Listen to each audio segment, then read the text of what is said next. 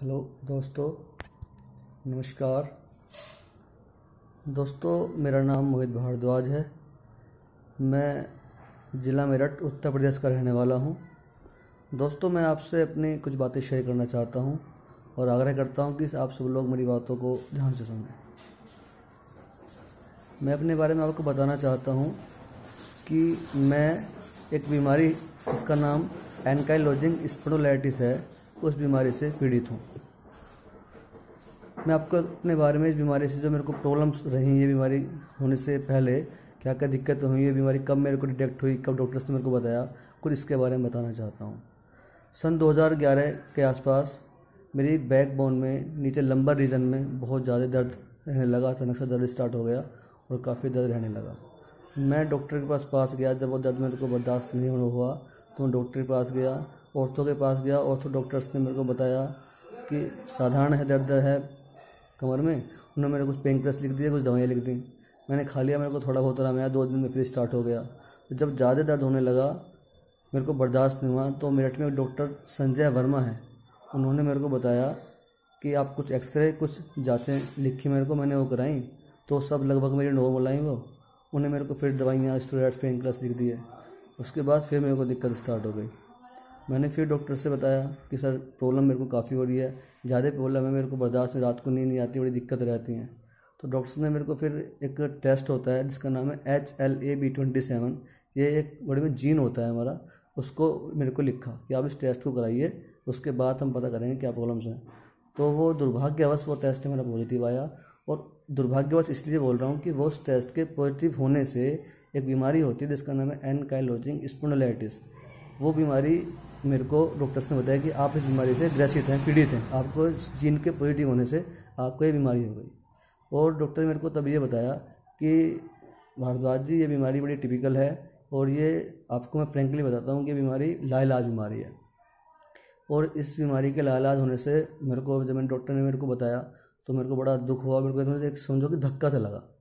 तो फिर मैं डॉक्टर से पूछा, सर, इसका इलाज क्या है? क्या ट्रीटमेंट है? तो उन्होंने मेरे को फिर अगेन कुछ दवाइयाँ, कुछ पेन किलर्स कुछ डी वगैरह जो उसकी थेरेपी हैं, जो जो भी इसका ट्रीटमेंट है डॉक्टर्स एलोपैथिक के हिसाब से, उन्होंने मेरे को लिखा फ़र्स्ट एड जो भी लिखना था। तो मैंने फिर वो दवाइयाँ खाई, मेरे को कुछ आराम लगा, फिर धीरे धीरे दर्द बढ़ने लगा, फिर दोबारा उनके पास गया, जब एक हफ़्ते बाद, दस दिन बाद मेरे को जब बुलाया तो उन्होंने मेरे को फिर कुछ बायोलॉजी वो सॉरी स्टोरेट्स लिख के मैंने फिर वो दवाइयाँ खाई, फिर मेरे को कुछ आराम आ गया। उसके कुछ दिन बाद मेरे को फिर दर्द बढ़ने लगा। बढ़ते बढ़ते 2015 में मेरे को दर्द इतना बढ़ गया कि डॉक्टर्स के में डॉक्टर मेरे को कहा कि ये दवा, तुम्हें दवाइयाँ लिख रहा हूँ, बाकी इसका मेन इलाज जो है बायोलॉजिक्स है। मैंने उससे पूछा बायोलॉजिक्स क्या होते हैं? उन्होंने मेरे को उसके बारे में बताया। फिर मैं वहाँ से चलाया। उसके बाद में दोबारा एक डॉक्टर हैं मेरठ के बड़े फ़ेमस डॉक्टर हैं, डॉक्टर संदीप ग्रोवर। और रूमेटोलॉजिस्ट भी हैं और इम्यूनोलॉजिस्ट भी हैं। मैं उनके पास गया उन्होंने मेरी सारी पुरानी रिपोर्ट्स देखी, सारी जो भी मेरे एक्सरे थे वो सब देखे, और उन्होंने भी मेरे को पुष्टि करी कि आपको H L E B twenty seven positive होने की वजह से ये बीमारी है। तो मैंने फिर उनसे इसका ट्रीटमेंट पूछा तो उन्होंने मेरे को बताया कि बिल्कुल फ्रेंकली कि इसका एक ही ट्रीटमेंट है एलोपैथ में, जो है बायोलॉजिक्स बायोलॉजिक्स से बीमारी आपकी बढ़ेगी नहीं, जहाँ पे है खत्म तो नहीं होगी, लेकिन ये बीमारी वहीं पे रुक जाएगी और बढ़ेगी नहीं, और आपको दर्द में बहुत राहत मिलेगी, और आपको देखा जाए तो एक नया जीवन मिलेगा। मैंने उनसे बलोजिक्स के बारे में पूछा तो उन्होंने मेरे को बताया बलोजिक्स के बारे में कि काफ़ी इंजेक्शन आते हैं, काफ़ी ब्रांड आते हैं, जैसे रेमिकेड है या एडफ्रार है एग्जामशिया है इंटासेप्ट कई इंजेक्शन आते हैं। तो मैंने उनसे पूछा, किसको लगवाऊँ? तो उन्होंने बताया तो आपकी पॉकेट पर अलाउ करता है। कुछ इंजेक्शन बीस हज़ार के हैं, कुछ पच्चीस के हैं, कुछ चालीस हज़ार का एक एक एम्प्यूल है तो बड़े महँगे महँगे इंजेक्शन थे। तो मेरे सुन के इतना शौक लगा, मेरे को धक्का लगा, मैंने कहा तो इतना महँगा इंजेक्शन तो मैं लगवा नहीं पाऊँगा। तो फिर भी मैंने हिम्मत करके एक इंजेक्शन लगवाया। मेरे को उस इंजेक्शन से बहुत राहत मिली। उसके फिर मैंने दोबारा इंजेक्शन लगवाने की कोशिश करी तो मेरे को बड़ी फाइनेंशियल प्रॉब्लम मेरी बड़ी वीक है तो मैं दोबारा इंजेक्शन अफोर्ड नहीं कर पाया। तो फिर मैं धीरे धीरे अपनी दवाइयाँ पेन क्लास जो मेरे को मेडिकेशन लिख रखी थी डॉक्टर ने टैबलेट वही खाता रहा, और उसका मेरी बॉडी पे बहुत साइड इफ़ेक्ट पड़ा। मेरे चेस्ट में या मेरे लंग्स पे, मेरे लीवर पे, मेरी किडनी पे, पूरी बॉडी पे उसका इफ़ेक्ट पड़ा। 2015 से अब सन 2018 आ गया, इन तीन साल में मेरी कॉम्प्लिकेशंस बॉडी की बहुत बढ़ गई, बहुत दर्द रहने लगा, सारे जॉइंट्स जाम होने लगे सारी टांगों में दर्द, पैरों में दर्द, पंजों में दर्द, पूरे हाथों में, पूरी बॉडी में चेस्ट में रात को नींद नहीं आती, आँखों में जलन खारिश बड़ी प्रॉब्लम रहने लगी। मैं बहुत परेशान हो गया। तो फिर मैं वही दवाइयाँ खाता रहता हूँ डॉक्टर से बोलता रहता हूँ, क्योंकि इसका लास्ट तो कुछ है नहीं।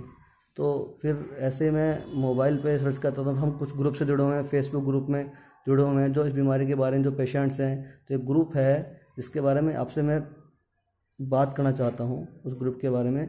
उस ग्रुप का नाम है कायस इंडिया ग्रुप वो ग्रुप फेसबुक पे भी है यूट्यूब पे भी है ट्विटर पे भी हम उसको फॉलो कर रहे हैं। उस ग्रुप में सबसे बड़ी बात हमारे लिए बेनिफिट्स बेनिफिट्स ये है कि एक डॉक्टर एक हमारे मित्र हैं जो उस ग्रुप के एडमिन हैं, उनका नाम है श्री अंकुर शुक्ला। वो बहुत अच्छे इंसान हैं। उन्होंने इस ग्रुप को बनाया और वो इस ग्रुप में उनका जो मेन उद्देश्य है, वो ये है कि हम जो इस बीमारी का ट्रीटमेंट है, वह है बायोलॉजिक्स और बायोलॉजिक्स की कीमत सभी पेशेंट अफोर्ड नहीं कर पाते। तो उनका मेन उद्देश्य यह है कि बायोलॉजिस्ट की कीमत कम कराई जाए और कीमत कम हो जाए इसके अलावा ये बीमारी गवर्नमेंट के जो प्लान में ये इंश्योरेंस सेक्टर में डी लिस्ट में आती है। डी लिस्ट का मतलब ये होता है कि ये बीमारी इंश्योरेंस कवरेज में नहीं है। तो उनकी ये छः मांगे हैं उनकी, लेकिन दो मांग मेन है कि बायोलॉजिक्स की कीमत कम हो और ये बीमारी इंश्योरेंस से डी लिस्ट से बाहर कैटेगरी से बाहर निकाल के इसको इंश्योरेंस कवरेज में लिया जाए। तो मेरा आप सबसे निवेदन यह है कि हम सब लोग अलग अलग मंच पे काम कर रहे हैं, अपना बीमारी बहुत लोग काम कर रहे हैं। सब लोगों से मेरा अनुरोध ये है कि आप काश इंडिया ग्रुप में आएँ और हम सब लोग एक मंच पर जुड़कर अगर प्रयास करते हैं तो हम लोगों को इसमें कुछ जल्दी राहत मिलेगी। और केंद्र सरकार ने हमारी फ़ाइल जो दिल्ली गवर्नमेंट में श्री अंकुर शुक्ला ने वहाँ लगा रखी है, और हमको केंद्र सरकार से, दिल्ली गवर्नमेंट से कुछ, वहाँ से गवर्नमेंट ने हमको आश्वासन दिया है हमारी वहाँ फ़ाइल लगी हुई है कि हम आपके बाल की कीमत कम करेंगे या उसको इंश्योरेंस सेक्टर लेंगे उन्होंने हमारी फ़ाइल लगी हुई है, वहाँ पर कुछ आश्वासन भी दिया है। तो मेरा आप सबसे पुनः आग्रह ये है कि हम सब लोग अगर एक मंच पर आकर कास्ट इंडिया ग्रुप से जुड़कर इस ग्रुप की मांगों को गवर्नमेंट के सामने अगर पूर्ण प्रयास से रखते हैं तो हम लोगों को, मैं समझता हूँ कि मेरे, हमको, मेरे को और हमारी आने वाली नई जनरेशन को एक नया जीवन मिलेगा।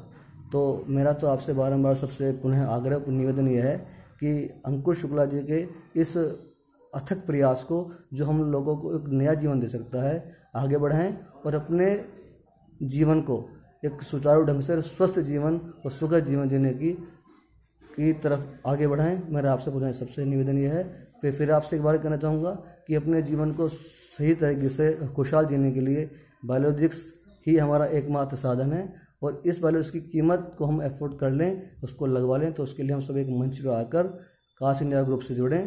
काश इंडिया ग्रुप के जितने भी जो ट्विटर पे है यूट्यूब पे है, या WhatsApp group cash India helpline के नाम से है, सब उससे जुड़ें और सब लोग अथक प्रयास करें, एकजुट होकर एक मंच पर आकर अंकुर शुक्ला के इस प्रयास को साकार करें, जिससे हम सब लोगों को एक नया जन्म मिलेगा। धन्यवाद।